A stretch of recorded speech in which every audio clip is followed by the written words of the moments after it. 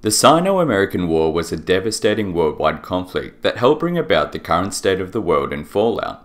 Although Wastelanders do refer to the Great War, this only technically relates to the atomic strikes that ruined the world, an engagement that all up only lasted about two hours.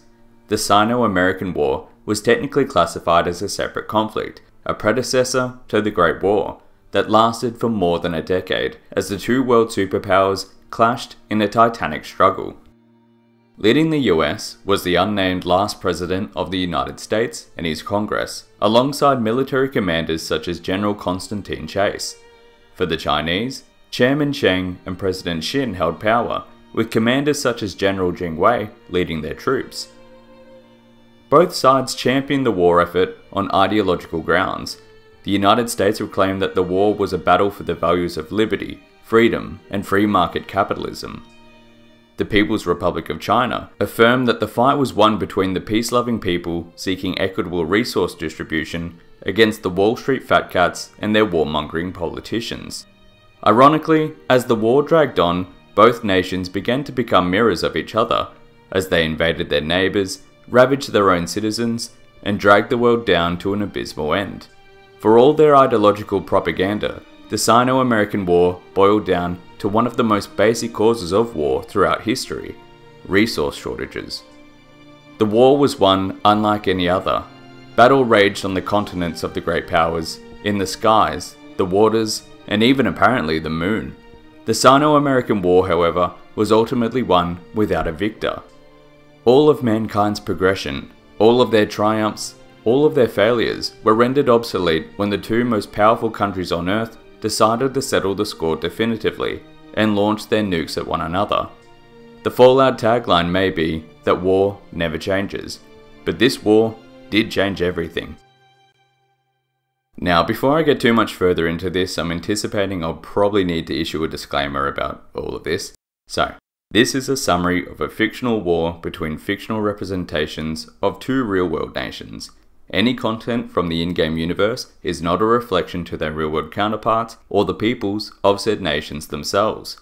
All of this is just a fictional history that was of interest to a Fallout dweeb such as myself. The Sino American War was not a conflict that escalated overnight. Although tensions were apparent between the two global superpowers, neither side initially had any interest in outright conflict with one another. However, from the middle of the 21st century, the delicate balance of international relations began to wobble as nations around the world began to suffer from shortages in resources.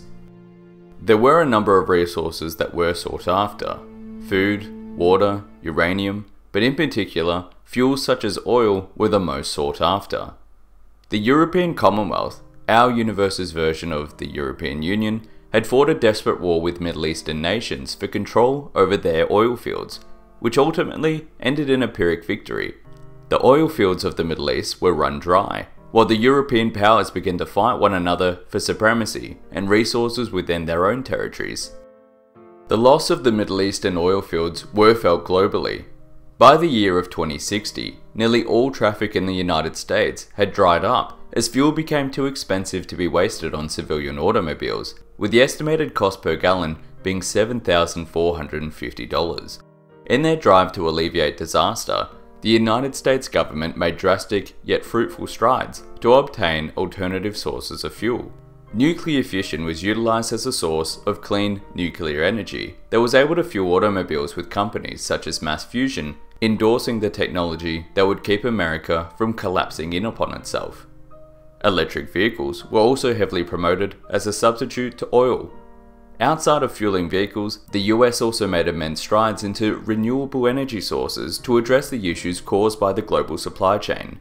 Poseidon Energy had constructed a solar power plant, Helios 1, in the Nevada desert, while wind farms such as the one seen in Far Harbor sought to cut dependency on foreign nations for the operations of towns and cities across the United States. Things were not all roses for the US, however.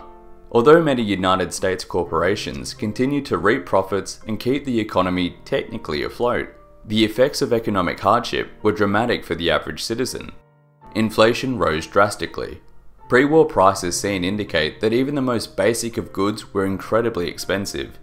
a copy of the Capital Post newspaper would cost you $56, while a dozen donuts from Slocum Joe's Cafe would set you back $200.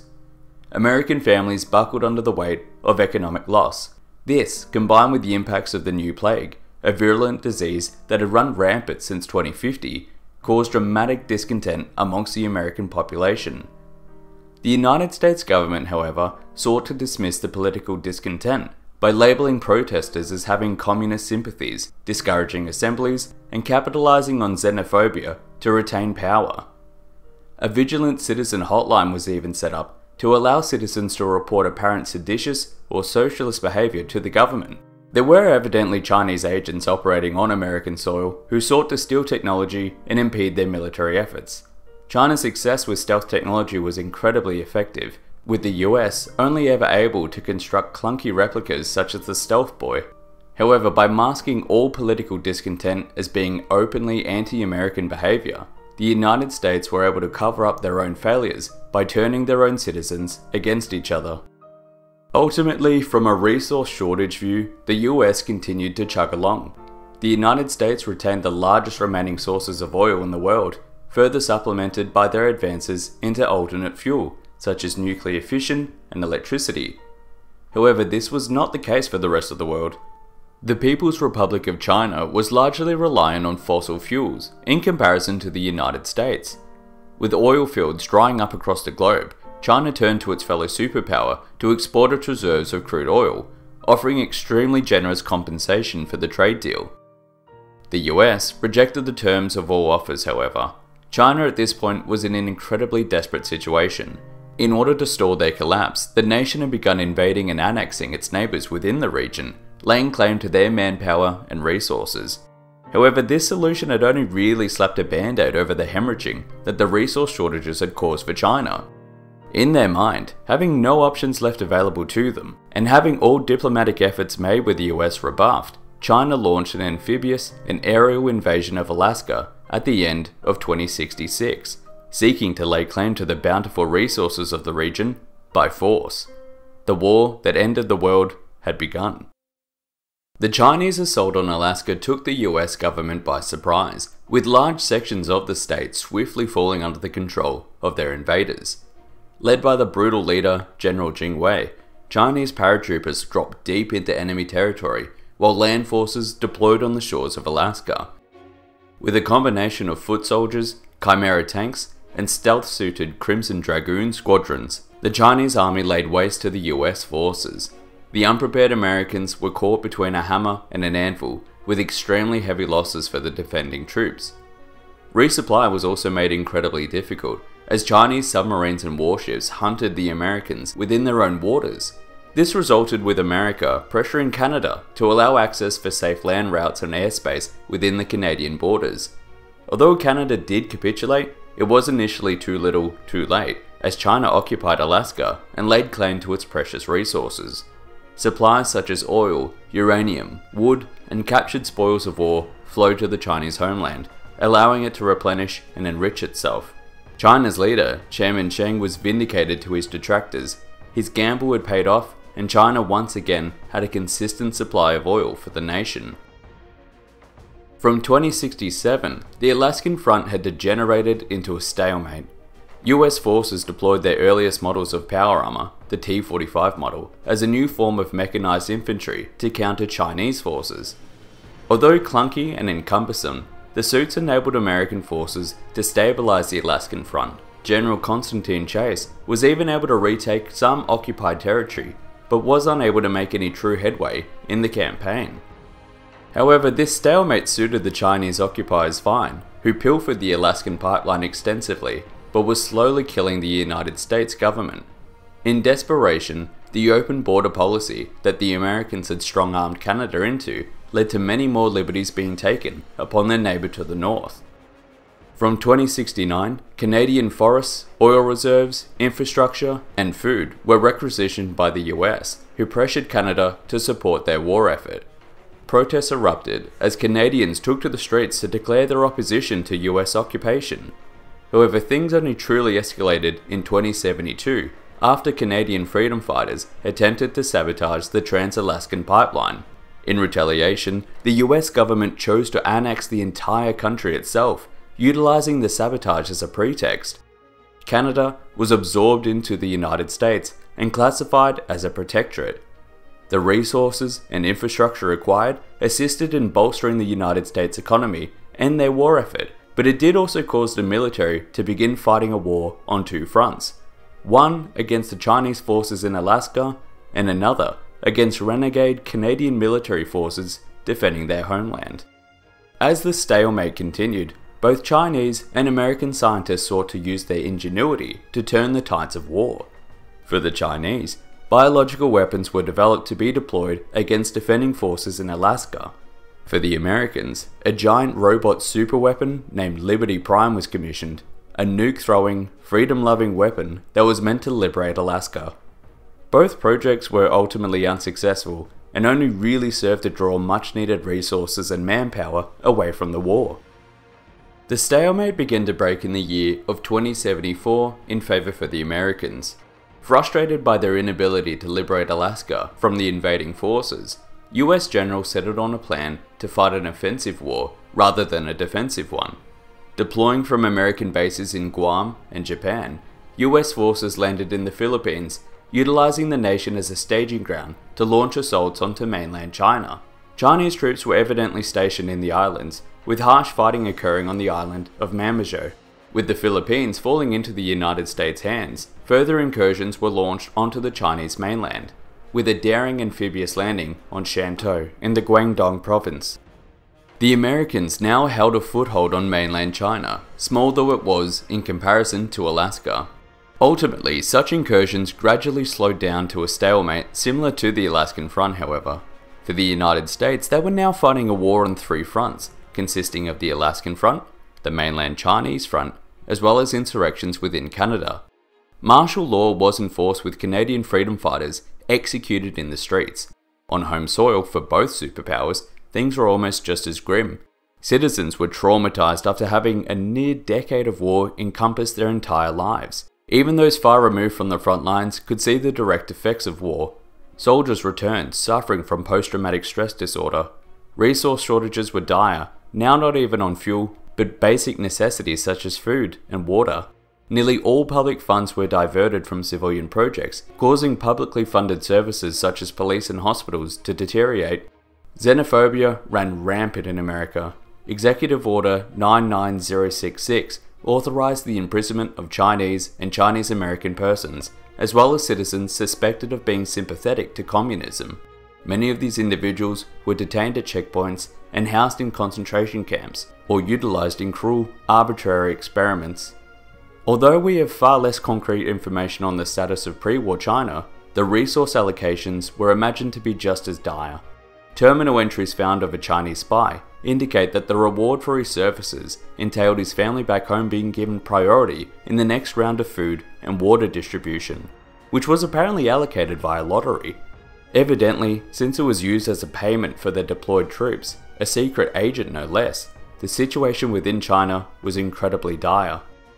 In 2076, the war truly began to change. Although having waged for a literal decade at this point, both sides had not really accomplished many of their objectives.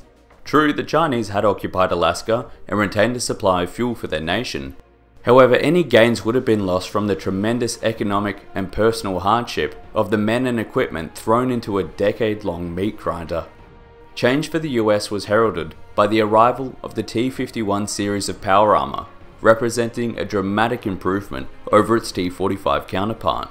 First deployed to reinforce the US troops occupying Shantou, the T 51 allowed the American military to make dramatic grounds against Chinese forces.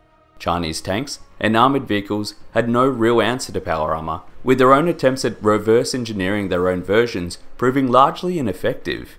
The culminative effects of 2076 saw dramatic impacts for the Chinese theatre of war. Although no major objectives were initially captured, the renewed offensive from the Americans caused ripples throughout the occupied and annexed nations in Asia. Supply lines were heavily disrupted, causing even further shortages across their territories. Annexed nations in Asia, similar to the Canadian insurrectionists, began to revolt against their occupiers. Chinese troops were diverted from fronts in Alaska and Shantou to suppress the uprising in neighbouring annexed states with varying degrees of success. On top of all this, Alaskan oil was still being pipelined, but the disrupted supply routes meant barely any of it was able to reach their forces in Asia. In reverse, Chinese forces in Alaska were unable to be regularly resupplied, beginning to be buried under a mountain of US troops. The destabilizing effects of disrupted supply lines, coupled with renewed American offensives from American troops, found the Chinese forces surrounded on all sides. In January of 2077, Alaska was finally freed from occupation with the liberation of Anchorage and the death of General Jing Wei. The liberation of Anchorage allowed the US to regain their precious oil reserves desperately needed to fuel their armies and prop up its failing economy. With hundreds of thousands of troops able to be reallocated, the assault on the Chinese homeland was also able to be spearheaded on multiple fronts. Bolstered by the additional T 51 power armoured troops, the foothold in Shantou was able to push enemy forces in all directions. Meanwhile, an amphibious landing deployed to assault the city of Shanghai, pushing all the way through to Nanjing, while a simultaneous campaign was launched from within the Gobi Desert of Mongolia, Given that the Soviet Union and the United States appeared to be on semi cordial relations, it could be theorized that American forces were given permission to cross borders to launch an assault through occupied Mongolia. Great strides were made, as Chinese and conscripted forces in the outer regions of the Chinese sphere of influence were recorded to surrender to power armor wearing troops on sight. However, the further into the mainland the US pushed, the stauncher the resistance became, as the People's Liberation Army rallied to defend their homeland. Brutal and devastating fighting erupted between the two foes, young men and women thrown into a grinder for a war that seemingly had no end. Yet very few of the foot soldiers would be able to conceive the fact that the war would be ending relatively soon, just not in the way that they might have imagined. Anticipating the increasing likelihood of an atomic strike against the nation, the last president of the United States and his inner circle, relocated from the White House to the Poseidon Energy oil rig. However, the government itself did not lead from the location, merely maintaining its silence. The United States was in effect leaderless. Original estimates from the Defense Intelligence Agency had calculated that the Chinese nuclear strike scenarios would only succeed in eliminating 41% of America's atomic weaponry stockpiles, large portions of the continental United States would be destroyed by the nukes, yet the leaders of the US were optimistic that the enemy would be completely annihilated, leaving them to retain the mantle as sole superpower. Yet these estimates were evidently well off target. On October 23, 2077, at 9.17am, confirmed atomic strikes struck the United States. Although technically unclear who had launched the bombs, the President of the United States ordered a retaliatory strike against China. At 9.26am, nearly the entire arsenal of the United States nuclear stockpile was launched at China and Chinese occupied states. By 9.47am, both the east and west coasts of the United States were saturated with atomic weaponry. We technically do not know who did strike first. Conventional wisdom does seem to suggest it was China, as President Richardson of the Enclave states that the damn Reds launched everything they had at us. However, theories abound that the first strike had been launched from other sources, ranging from aliens, the Enclave themselves, and even Vault-Tec. Ultimately, the Sino-American War technically ended on October 23, 2077, with the start of the Great War. A decade of warfare had led to the global collapse of the world's nations and a brand new dark age for humanity. Wastelander historians would classify that the war did end on October 23, 2077, however, due to the nature of the war's end, no official armistice or peace accord was ever reached. The successor to the United States, the Enclave, did view themselves as the winners of the war, as they had survived, albeit in a diminished capacity. We've never received any confirmed reports on the status of post war China. However, if the nation still exists in any form, they would no doubt mirror the Enclave's messaging that it was they who won the war. It is a bit of a moot point, however, since the Enclave no longer exists, and China, or any successor state, has made no appearances in the post war world. To end the video, I'd like to summarize the Sino American War with the following joke. Did you hear about the two nuclear superpowers that got into an argument? No? Well, they had a fallout.